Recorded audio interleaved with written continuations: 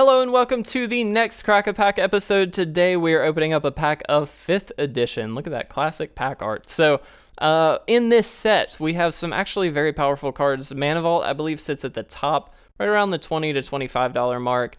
Uh, there's also right around $20 Sylvan Library, which would be a fantastic pull. Uh, other cards, Lord of Atlantis is in here. I believe Birds of Paradise as well.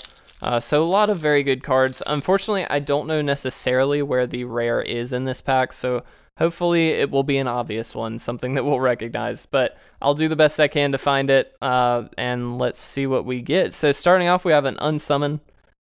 We have a Shield Wall, a Shanodin Dryads, Bird Maiden, a Boomerang, an Armor of Faith, Scathe Zombies, Dark Maze, uh, Krovikan Fetish, Grizzly Bears, Ashnod's Transmogrant, that might be the rare, I'm not sure, Air Elemental, Blight, Pyrotechnics, and Earthquake. Okay, that is definitely the rare. So, Earthquake is X and a red for a sorcery. It deals X damage to each creature without flying and each player.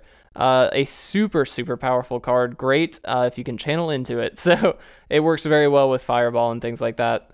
Uh, it's a replacement, excuse me, for Fireball. Um, so this is great. It's a board sweeper, uh, theoretically, but it also deals damage to the opponent.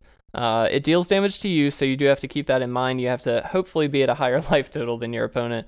But again, it's super, super powerful. Uh, definitely a good card, and I'm happy to pick that up. I do not have a 5th edition Earthquake, so not bad. I don't believe there's any real value to it, though. Uh, it's just a super awesome card, I think. So, guys, thank you so much for watching. If you enjoyed this episode, make sure to leave a like or a comment down below. If you really enjoyed it, make sure to subscribe uh, to stay up to date with all of our other content. But until the next episode, I'm going to get out of here. Thanks for watching.